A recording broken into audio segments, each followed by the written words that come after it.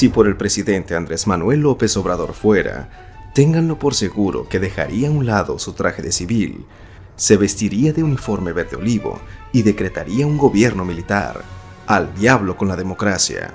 Cada día es más inaudita la afinidad, el encubrimiento y la protección que el inquilino de Palacio Nacional tiene para quienes de facto hoy controlan el quehacer nacional, las Fuerzas Armadas.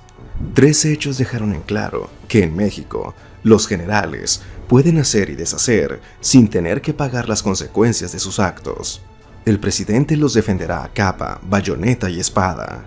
El primer caso se dio con la decisión de la Suprema Corte de devolverle a la Guardia Nacional su carácter de civil, ordenando que la Secretaría de la Defensa dejara de ser el órgano operativo y administrativo. Ocho votos a favor, tres en contra.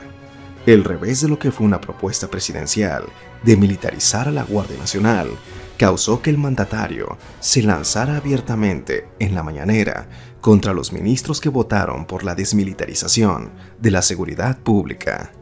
Y, en una abierta falta de respeto a la separación de poderes, acusó a los ministros que votaron a favor de fallarle a México, de estar al servicio de las élites conservadoras, ordenando al mismo tiempo a la secretaria de Seguridad Pública, Rosa Isela Rodríguez, que asumiera el mando de la Guardia Nacional, pero que mantuviera al general Córdoba Campos como comandante del Organismo Nacional de Seguridad.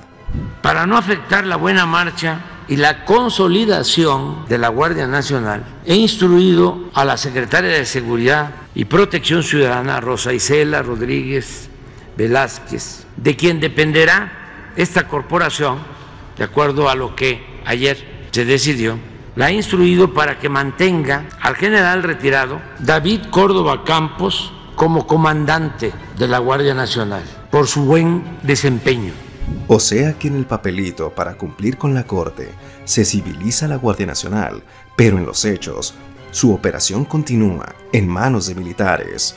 El segundo caso de protección a los de uniforme verde olivo se dio en una absurda defensa que hizo el presidente López Obrador del titular de la Sedena, el general Luis Crescencio Sandoval.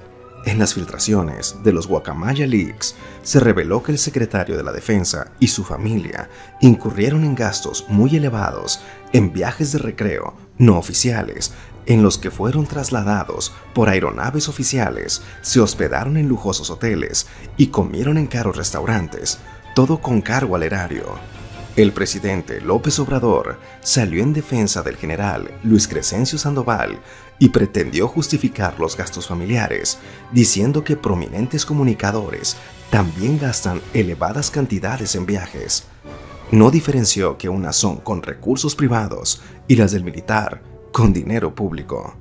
Para el inquilino de Palacio Nacional, todos son iguales. Dicen que estuvo 15 días, ¿no? Nunca ha estado el general. O sea, o sea, que yo sepa.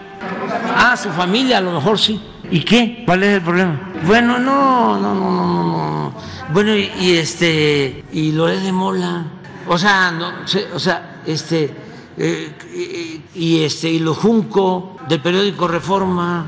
Sí, y este, y Ili Ortiz son otras implicaciones, ¿no? Es el querer eh, manchar, porque la calumnia cuando no mancha tizna. Y el tercer caso fue el de resguardar los contratos del actual gobierno de la Cuarta Transformación sobre la compra del software Pegasus, que fue denunciado que emplean las secretarías de la Defensa y la de Marina para espiar a civiles, activistas, políticos y periodistas y en contra de una resolución del Instituto Nacional de Acceso a la Información que exigió revelar el detalle de cuánto costó y a quién se le compraron los equipos de espionaje, el mandatario determinó que esos datos se mantendrán en secreto de seguridad nacional hasta el 2028. Esa fecha es cuatro años después de que termine su mandato. Nada de exigirle cuentas a los militares por sus acciones, incluso las que están evidentemente fuera de la ley ya entendemos la urgencia de desaparecer el INAE.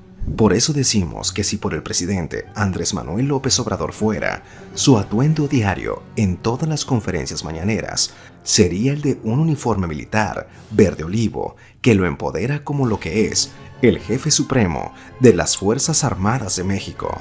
sería un simple cambio de imagen, porque en los hechos, el inquilino de Palacio Nacional ya se comporta como tal, desplegando una autocracia que no acepta contradicciones. ¿Alguien podrá frenarlo?